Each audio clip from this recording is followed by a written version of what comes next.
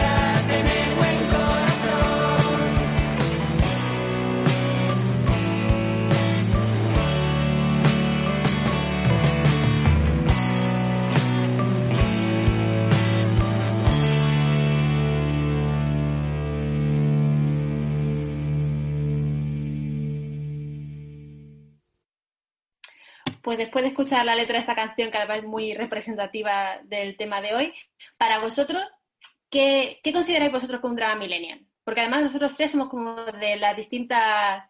eh, somos muy representativos, pero como de tres partes muy diferentes de la generación. O sea que... Vamos de bajo, o sea, de, más joven a mayor. Pues, yo que soy la, la más pequeña aquí de, de Verbena, eh, siempre acostumbrada a ser la más joven en los trabajos que he tenido, pero mi drama millennial es que em, empiezo a notar que ya no soy esta voz tan joven y tan fresca que buscan las empresas, ¿no? En plan, sí, porque tu opinión nos interesa, porque tú eres muy joven, porque no sé qué, porque estás con las nuevas tecnologías y, y cada vez esa gente, ya los, los de la generación Z que vienen por detrás, están graduando, ya están con los curros y tal, y, y entonces estoy un poco con el dramita de que cada vez soy, soy menos joven y, y con, y menos fresca, como la lechuga. No es fresco. No se te echa encima la edad, ¿eh, Vero? Bueno, y, bueno, eso, y, es- y eso que quien me escuche dirá que, que, que niñata, ¿no? De 27 años, pero Joder, es que... Aquí yo que tengo 29, 27, casi hace una década. Y mira que son 20, han pasado dos años. Pero... que tú estés diciendo esto, Albert, siendo yo. Aquí la más mayor de todos vosotros, me parece una falta de respeto. Es que no sé, de los ¿cómo 27, sobre Vamos, todo de los 27 a los vamos, vamos. 28, me dio para, para hacer un libro, así que... Ya, ya, ya, pero Bueno, de los, 20 de los 25, 27, 28. Ya los 28, los 29 ha sido una mierda, porque ¿qué, qué he hecho? Vivir en Me te ha casa pillado. Pero, pero ese año no cuenta. Yo creo que este Yo- año no debería contar para ninguno. Yo eso es lo que quería, o sea, yo en mi cumpleaños dije, no puedo cumplir 26 bis, o sea, es que no les he usado, no, no puedo hacer una repetición, en plan, Oye. ¿cuántos tienes? 26 bis, no, no, no, son- no, es bis, es, es- es la segunda. Ahí me viene mejor, ¿eh? Sí, vamos, Sí, ¿no? para mí, yo tengo una tontería de que para mí los números impares en cumpleaños y demás me funcionan mejor. Así que bueno, esperemos que estos 29 eh, vayan guay, aunque ya están llegando un poquito a su fin, me quedan tres meses. Pero volviendo a la pregunta del comienzo, ¿qué eh, considero un drama millennial o un drama moderno? Pues me parece que quien acertó súper bien en- al definirlo, o al menos como título de su libro, fue Zahara, trabajo, piso y pareja. Y yo voy Sí. acertando, en uno tengo de mucho y en el resto no tengo de nada. Así que algo tengo que trabajar en ello. ¿Y tú, Sara? Pues yo, yo eh, hace tiempo que noto lo que, lo que decía Vero, o sea, hace tiempo, claro, yo tengo ahora mismo 32, voy a cumplir 33 en mayo. Y, mm, y claro, yo ya he pasado la franja esa de conseguir cosas antes de los 30. Entonces es como, Dios mío, ¿qué he hecho con mi vida? No tengo nada, ¿sabes? Entonces es... y yo donde lo que creo que marca sobre todo la, nuestra generación es como la precariedad. Sí, Porque yo, a lo mejor a 100%. vosotros sí que os pillo un poco más pequeños, pero a mí la crisis de 2008 ya me pilló trabajando. Mm. Entonces es como, joder, no hay... O sea, como que parece que mejora, pero luego viene una pandemia, que es una cosa que nadie se esperaba. Entonces, como, bueno, en algún momento de mi vida me va a dar, pues para, pues mira, por lo de la canción de Zahara, para tener algo de esas tres cosas eh, de forma medianamente segura o que me deja a mí tranquila. O sea, voy a, poder- voy a poder estar tranquila en algún momento. La tranquilidad y la precariedad creo que son como los, los dos grandes dramas para mí. Yo la crisis del 2008 estaba, estaba en el colegio, estaba estudiando... En el colegio. Y el profesor de, de- de economía, ya en primero bachillerato 2010, nos decía, no, no os preocupéis, cuando acabéis la carrera ya esto va a estar pasado y superado. Y, y cuando acabé la carrera, empecé las prácticas de periodismo, me acordaba mucho del profesor de economía. Me dijo, y, y yo pensaba, sí, sí, sí, está pasado, pero la precariedad ha venido para quedarse. Sí, y sí, los sí. jóvenes, o sea, esos periodistas de los años 80, 90, que salían de la facultad y tenían a todos los diarios dándose hostias para contratarles con unos sueldazos del copón y ahora es como, ¿qué tienes tú que, que, que casi pagar no, para que te? Total, Claro, y yo siempre he sido muy combativo con la generación anterior, en plan de nos habéis dejado una mierda, pero es que ahora vienen los de los nuevos y es como, ostras, que esto nos van a quitar lo poco que hemos conseguido. ¿Qué, qué Y, momento? y sobre todo, creo que también tampoco tenemos lo de la capacidad de elección. No, no, para nada. Porque- Nos ha caído y si lo quieres, Claro. adelante. Claro, por ejemplo, ahora que hace poco, hace unos días ha sido el, el Día de la Mujer, ¿no? Como Mm. uno, una cosa que yo siempre digo, digo, joder, en la generación de nuestras abuelas no podían trabajar porque no estaba bien visto. Nosotras tenemos que trabajar sí o sí porque si no, no llegamos. Y so- creo que solo la generación de nuestras madres eh, es la única que ha podido elegir Sí, total. si trabajar, o sea, si, Bueno, pero más es o que no si quieres trabajar o no. sí, es que eso es otro debate, pero yo no sé si, si esa elección fue realmente libre, porque nuestras madres, eh, o sea, a ver, sí, mi madre fue madre en los 90, con lo cual ahí había cierta libertad Claro. y, y empecé a trabajar antes. Pero ahí también conozco a muchas madres de compañeras de mi colegio que por su clase social o lo que fuera, eh, simplemente estudiaron algo que luego nunca ejercieron porque tenían que casarse Ya. con alguien y dedicarse a cuidar hijos. Ya. Pero dentro de lo que cabe, bueno, o sea, hay gente que lo hizo, Sí, porque ya había sí. gente que podía. Pero Sí. Y la nuestra, por ejemplo, claro, y la nuestra no es opción. Porque con un solo sueldo, nadie, o sea, no, no te puedes dar el lujo de que una familia solo trabaje uno. Entonces, como la capacidad de elección creo que también es algo que nuestra generación ha perdido.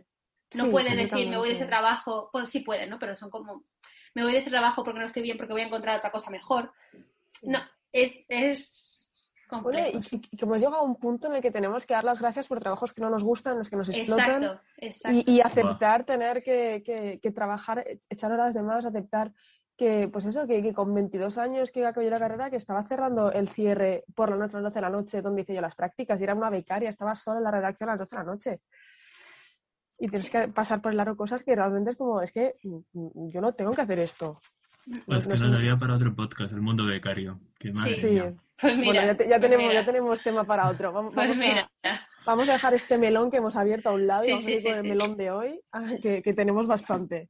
Sí, y bueno, otro que también lo que busca en esta piscina es la tranquilidad es nuestro Jorge Ponce del Bermud, nuestro queridísimo Doctor Rubio, que una semana más, bueno, ot- otro programa más, para esto nos cada semana, vuelve con nosotros. Doctor Rubio, ¿qué tal estás? ¿Cómo va el de Dramitas Modernos? Hola, bermuteros, ¿cómo estáis? ¿Qué tal va ese bermud? Muy filosófico. Sí, Sí.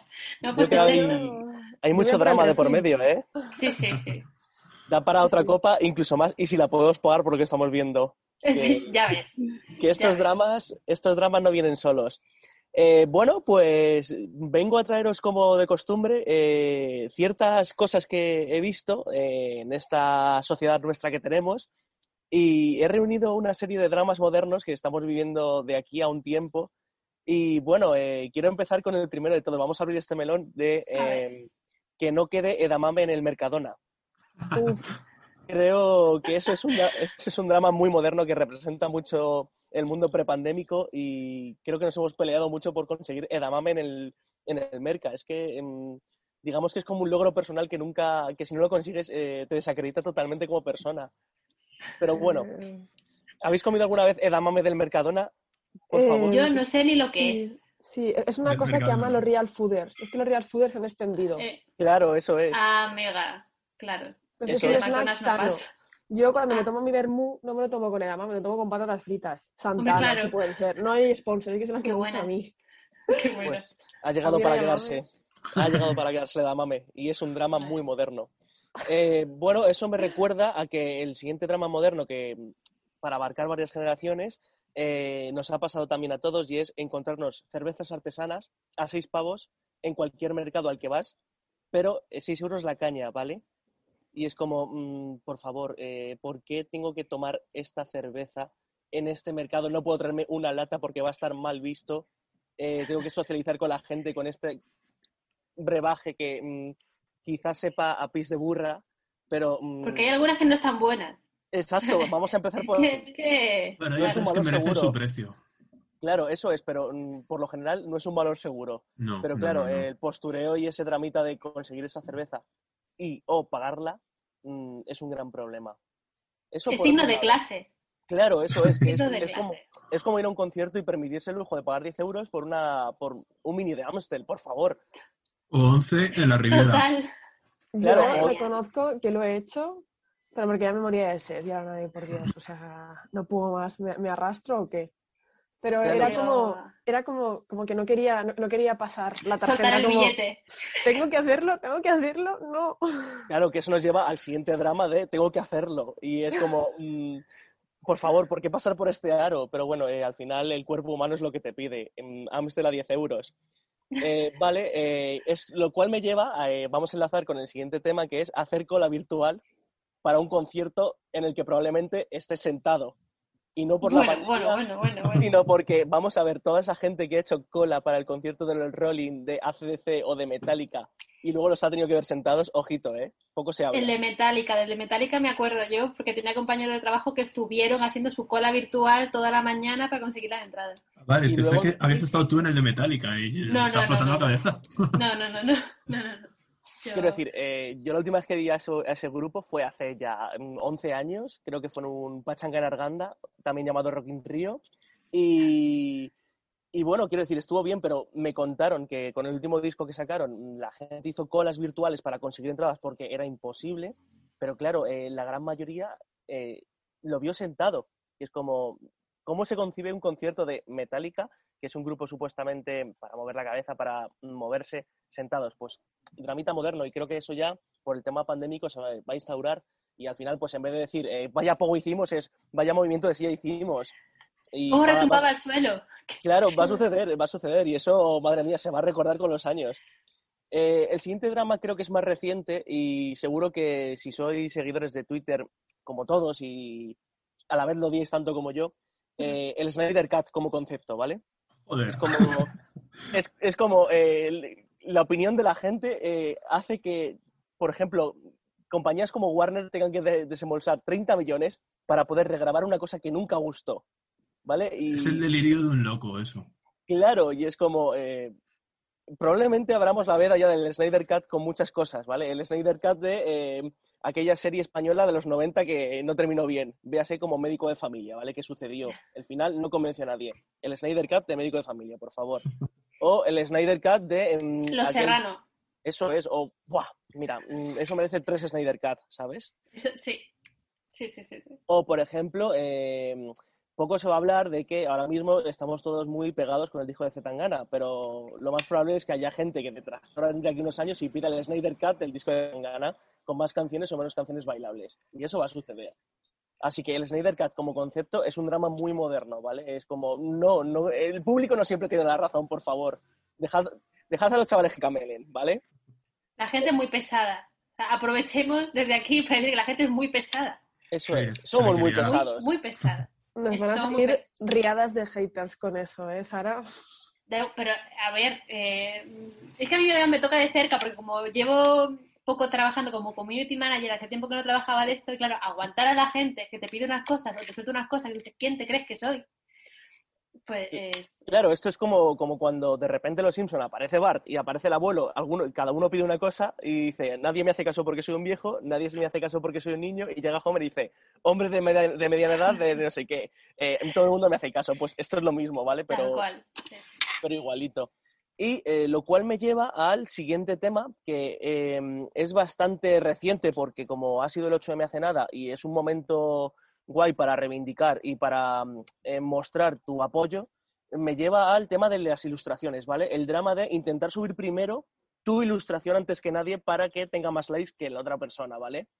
Eh, y esto, mm, por desgracia, lo estamos viendo con muchas desdichas sociales. Véase París, véase Notre Dame, etcétera, que es como, eh, ¿ha pasado algo en la tele o ha pasado algo en el mundo que me, me lo haya dicho las noticias? Por favor, me voy a poner con mi pincel y mi, y mi papel a dibujar como un loco para que, para que mi ilustración salga antes que ninguna. Y eso es como, eh, vale, sí, bien pero, bien pero mal, está mal. Estamos utilizando el dramita para, para comunicar y bueno, en fin, sucede, sucede. Es solidaridad con fines oscuros. Eh, Eso es. Sí. Pero ¿qué, qué vende más? ¿Una historia que va a acabar mal con todo el salseo o algo que acaba bien? A la gente nos encanta escuchar dramas ajenos para resarcirnos en que, bueno, Eso es. no me va tan... O sea, lo- cons- eh, ¿cómo es? Mal de muchos, consuelo de tontos, ¿no? Pues Sí. es que al final... Eso es. Sí, pero que- es la cosa... Perdón. No, no, por, por favor. No, no, pero que, que creo que se refiere más a la cosa de yo soy ilustrador, ilustradora o diseñador y diseñadora y yo qué sé, eh, ocurre un atentado y a los cinco minutos ya he subido en Twitter mi foto, mi ilustración y tal con todos somos X. Ya. Corre- correcto. Sí. Mm. Bueno, claro, eso yo también- a tope con la causa, pero ahí he soltado mi trabajo en plan, bueno, si se hace viral mi trabajo y consigo yo eh, sacarle rédito a esto, pues, eh, oye, Mejor. yo solidario. Eso no lo habéis estudiado, seguro que habéis estudiado la carrera también, lo de con la ética, la deontología, qué ética tiene subir Ética una foto Claro. de un momento súper terrible para conseguir eso, el- que, que te lo paguen más caro. O sea, al final está ahí un poco la moral de cada uno, ¿no? No En sé. cierta universidad que estudié y que regalaba másters, no digo el nombre, pero creo que está todo dicho, eso no existía. Quiero decir, esa, esa clase existía, pero no existía como concepto, así que todo vale. Quiero decir, si te enseñan eso en la, en la clase, pues creo que todo vale. Eh, al siguiente tema, que enlaza mucho con, con el tema gustos y el tema, y el tema agradar a la gente, ¿vale?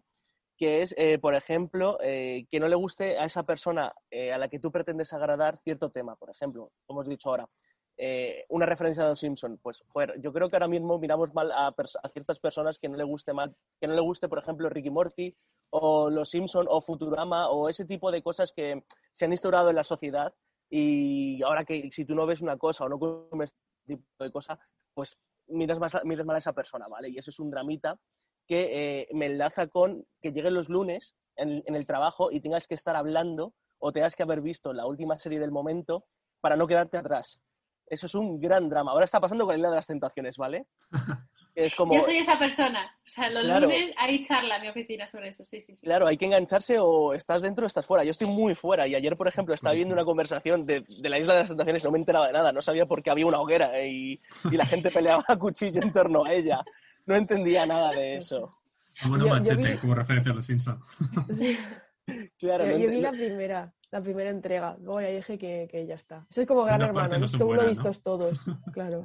Yo la he visto todas, tengo que decir que esta última es brutal. Y eh, viéndola como serie de comedia, eh, o sea, viéndola como una comedia es eh, porque es surrealista.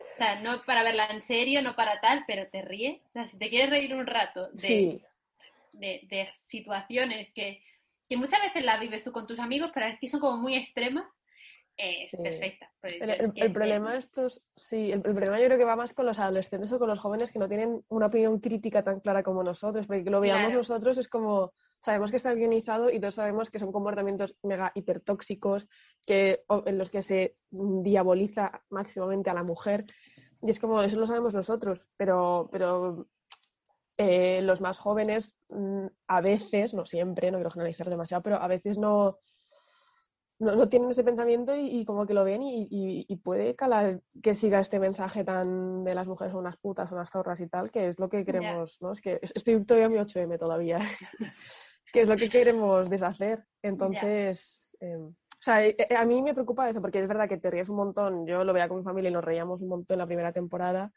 pero es la preocupación esa de los más jóvenes, cómo, cómo perciben eso, cómo reciben ese mensaje. Sí, lo malo es que se lo tomen como referencia o como a lo que aspirar. Sí, sí, sí. Eso es.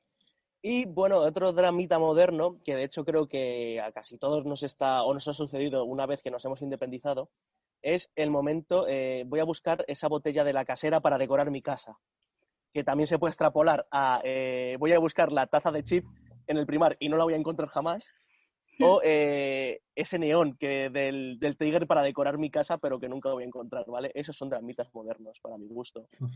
Y creo Sí. que el último de todos y que vamos a vivir, o que estamos viviendo ya, si no es, si el mundo no acaba antes, es el de conseguir una tableta de Nestlé Jungle, que parece Bueno, ser que la gente se ha vuelto loca con ese tema.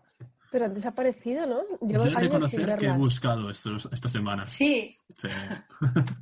Y el que buscó no encontró, ¿verdad? No encontró. Pues eso, eso es un dramazo moderno. Mm. Pero yo lo que echo de menos es el chicle boomer.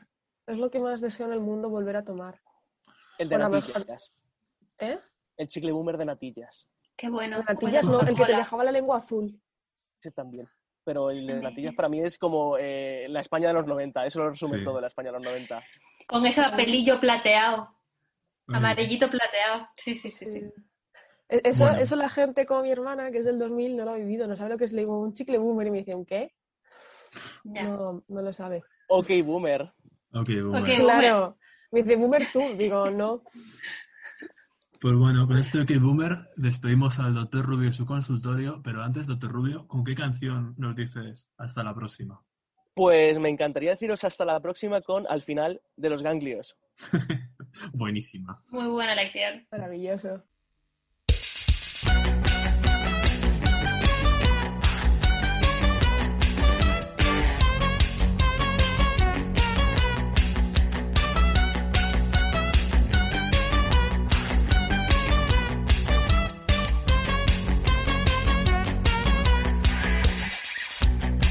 Llevamos tonteando Llevamos tonteando y ya van tres semanas. y ya van tres semanas. Mensajes atrevidos, Mensajes atrevidos. ya me he hecho alguna paja. Nos citamos en un bar, Y quedamos en quedar. me gustabas.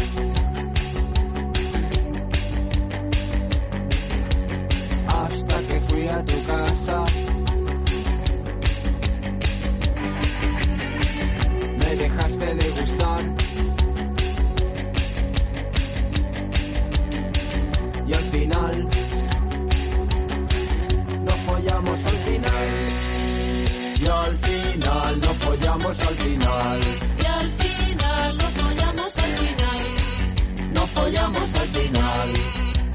Y al final nos follamos al final. Y al final nos follamos al final. Nos follamos al final.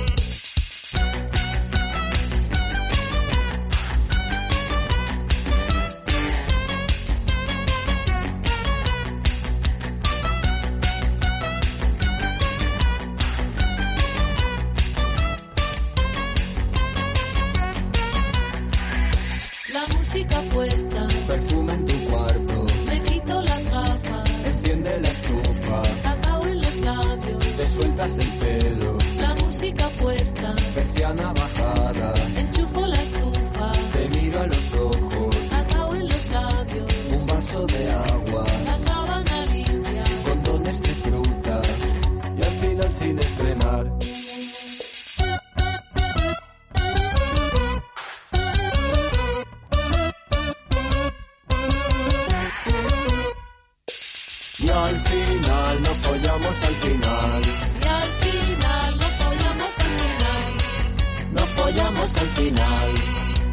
Y al final nos follamos al final, y al final nos follamos al final, nos follamos al final. Y al final nos follamos al final, y al final nos follamos al final, nos follamos al final. Y al final nos follamos al final, y al final nos follamos al final, nos follamos al final. Y al final nos follamos al final, y al final nos follamos al final, nos follamos al final. Y al final nos follamos al final, y al final nos follamos al final, nos follamos al final. Esto es Subterfuge Radio. Y después del del consultorio con el doctor Rubio, seguimos hablando de dramas millennials y lo hacemos también con otra invitada que tira de seudónimo para, para mostrar su trabajo en redes. Dice en su Instagram que hace humor en tiempos mierdenials y pensamos que no hay mejor persona para hablar de este tema que precariada. ¿Qué tal? Oli, ¿qué tal? Muy bien, aquí con nuestro Permú. ¿Tú qué tal? Yo bien, a tope. Eh, Tranquilita todo. Muy bien, te queríamos preguntar em, ¿de dónde nace Precariada? Porque no es tu nombre real, no lo vamos a desvelar, eh, pero ¿de dónde nace? Porque sabemos que ya habías em, empezado en esto de la ilustración, eh, que habías participado en alguna que otra expo colectiva, pero ¿de dónde viene el nombre, el concepto y cómo empieza todo este proyecto? Eh, pues precariedad surge en un momento un poco feo de mi vida en el que todo iba regular y, y como que me parecía que era el nombre que mejor casaba para sacar un proyecto así. Entonces, bueno, también es que había hablado con, con amigos sobre el tema de la precariedad laboral, de, lo mal que, que nos va a los jóvenes y tal. Y bueno, era como eso, como el anillo al dedo a un proyecto que, que casaba mucho con, con mi situación en ese momento.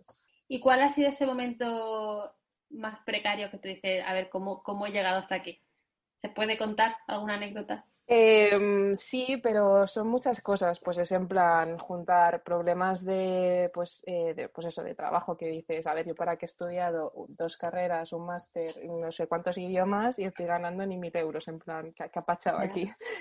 Sí. Entonces, claro, entonces sumas eso, sumas pues eso, temas de relaciones, pues eso, dramas mierdenials, como estamos diciendo, Total. y, y todo junto, pues llegas a un punto en el que te paras y dices, pero vamos a ver, vamos a parar un poco y ver cómo hemos llegado hasta aquí y cómo podemos cambiar esta situación si es que se puede, porque yo a veces lo dudo. Bueno, y dentro de toda esta precariedad y ya cuando nace eh, ¿en qué momento te paras y dices, ostras, que, que a lo mejor mm, puedo salir esa precariedad o empiezo a ver la luz que esto, que esto tiene tirón, que esto tiene futuro, que a la gente le mola lo que hago? Pues fue justo en la cuarentena que mm, de repente, pues claro, como todo el mundo estábamos aburridísimos, eh, pues yo me dediqué a hacer más, más viñetas y hubo justo una que, que lo petó muchísimo, que de hecho es como que, que en un día crecí como 10.000, 20.000 seguidores, que fue una puta locura. Y, mm, y a partir de ahí yo dije, joder, a lo mejor esto puedes, porque yo antes lo tenía como un hobby y subía cosas sin filtro, en plan, bueno, pues subo esto y me daba un poco más igual. Entonces, a partir de, ese momento es como que ya lo vi que podía tener más tirón y podía dedicarme a ello de una manera un pelín más profesional, porque a raíz de eso luego ya cuando terminó la cuarentena y tal, abrí la tienda, empecé a hacer cosas ya como para darle más, un- o sea, un- monetizar la cuenta, en, en fin. Así que bueno, poquito a poco fue, fue eso, pero vamos, que a mí lo que me gusta que es que más que aparte de, de que la gente te compre cosas que te hace ilusión, son los mensajes que a veces me ponen en la tienda, en plan, ay, me encanta lo que haces, eh, sigue así porque me sacas una sonrisa, o sea, ese tipo de cosas son los que a mí me, da- me hacen seguir, la verdad. Sí, porque... Pero es in- pues, Perdón. Sí, que, que, que- que es indudable que, que todas, todos y todes nos sentimos súper identificados con eso. O sea, yo Total, cuando las veo es como, joder, qué razón. Ay, gracias. Sí. Y además eh, súper bien conceptualizado. Una, es Sí. una viñeta y tal cual, sí, sí, sí. Sí, Está muy guay. sí. Thank you. Sí, entre tantos mensajes que te llegan, eh, sobre todo cuando montas tus consultorios que realmente lo petan, Bueno, porque eso es una puta locura. O sea, o sea, yo literal, si hago un consultorio, esa tarde sé que no tengo que tener planes, porque si no es inviable contestar a la gente y aún así me tengo que dejar cosas sin contestar, pero es que hay gente que me pone parrafazos por privado que yo digo, madre mía, pero si es que yo no te puedo contestar a esto, o sea, y, real les digo que vayan a terapia, pero porque yo he ido a terapia y, y es que sé que necesitan a un profesional que les ayude con, con problemas más serios, quiero decir. O sea, son cosas que yo ya me siento mal intentando aconsejar sobre eso, ¿sabes? claro, es que eso te iba a decir, que parece que estás haciendo terapia a tus seguidoras. Claro, claro, claro. Pero luego, por ejemplo, también hay gente que, que me hace mucha gracia porque de hecho hay, hay una chica que, que me parto con ella porque nos pasamos capturas del Tinder. O sea, cuando hice el consultorio del Tinder, me empezó a pasar Tinder. capturas, en plan, sus mejores capturas y yo le empecé a pasar mis mejores capturas y, vamos, best friends forever. ¿Y alguna de las historias estas que te han pasado o de capturas estas de Tinder que te ha enviado esta seguidora ha dado luego como resultado una viñeta de las tuyas? Um, sí, no voy a mentir. A ver, pero es que em, quiero decir, mi, mi fuente de inspiración es eh, la vida, que, que queda esto como muy rimbombante, pero quiero decir que las situaciones que vivo, las cosas que me pasan es luego lo que me inspira para hacer viñetas. Entonces, pues evidentemente algo de verdad siempre hay, aunque siempre lo negaré. Y Tinder es una parte de la vida actual, así que no podemos negarlo ni ignorarlo. Exacto. De hecho, es que mis últimas viñetas están bastante inspiradas en, en Tinder, en cosas que me han pasado con Tinder, entonces, pues claro. Y, y bueno, dentro de, bueno, imagino que eh, trabajarás desde casa o, o en tu propio espacio. eh, los días que te levantas un poco menos productiva, sea, ¿cómo los afrontas en, en- en esta vorágine de, de- de momento que vivimos de la producción, de ser productiva, aprovechar el tiempo? ¿Cómo Uf, te los pues ahí lo planteas? que hago es darme un descanso. Porque antes, o sea, siempre he tenido y sigo teniendo esa cosa de que eh, tengo que ser productiva y no puedo perder el tiempo, que es una cosa que, por ejemplo, estoy trabajando en terapia de, a ver, no, te tienes que dejar tu tiempo y también mm, Claro. regalarte tiempo para Sí. ti. Es importante. Pero yo estaba antes como una máquina en plan de no, mi trabajo, a luego precariada y luego los envíos y luego tengo que hacer esto y luego lo otro. Y claro, llegaba a dormir y estaba como un búho porque mm, no podía dormirme. Entonces, eh, ahora cuando me pasa eso de que me levanto poco productiva, digo, pues hoy me veo de office, me hago una cenita que me guste y soy feliz y ya está.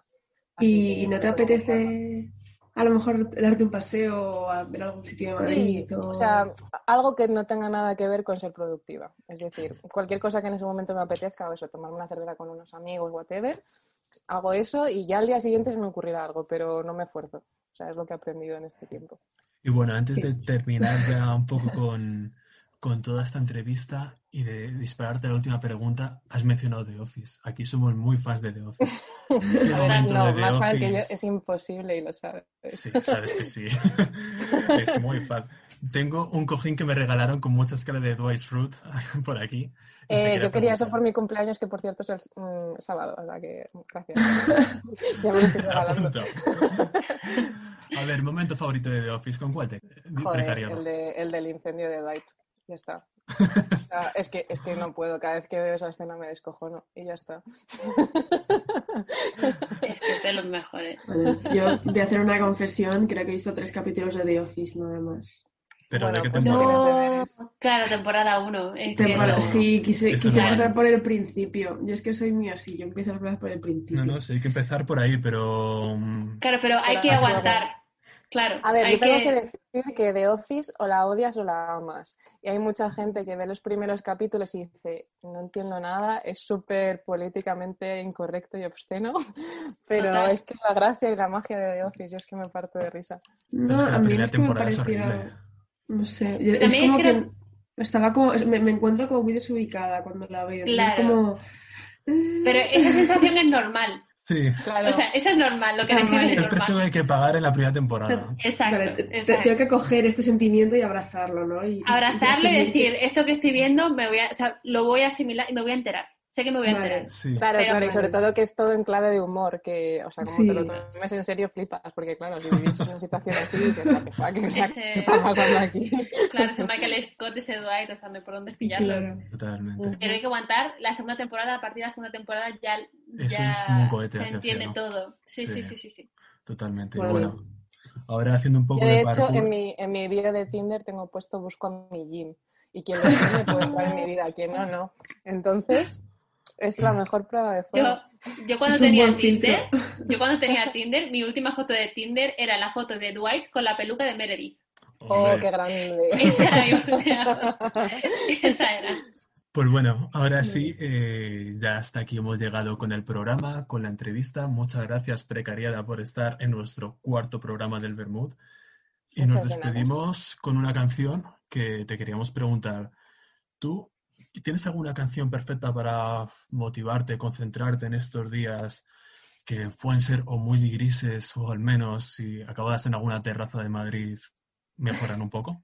Em, canción perfecta para concentrarme. mm, es que soy un poco, ahí me pongo un poco moñas.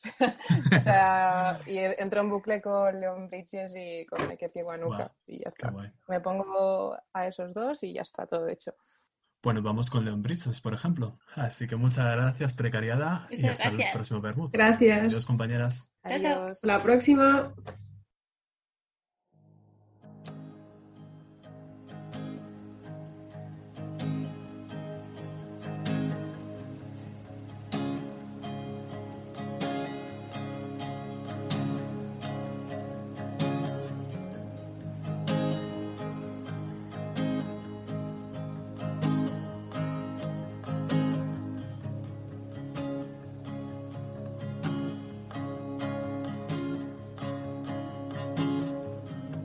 Been traveling these wide roads for so long.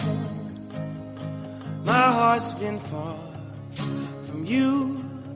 Ten thousand miles gone. Oh, I wanna come near and give every part of me. But there's blood on my hands and my lips are unclean.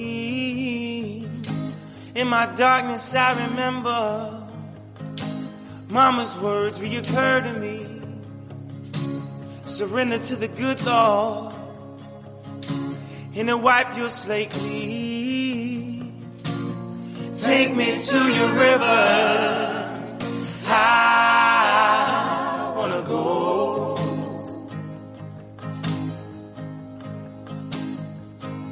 Go. Take me to your river. I wanna know.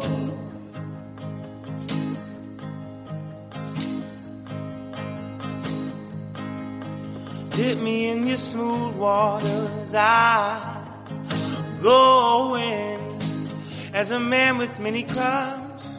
Come up for air as my sins flow down the Jordan. Oh, I wanna come here and give you every part of me. But there's blood on my hands, and my lips are unclean. Take me to your river. I wanna go.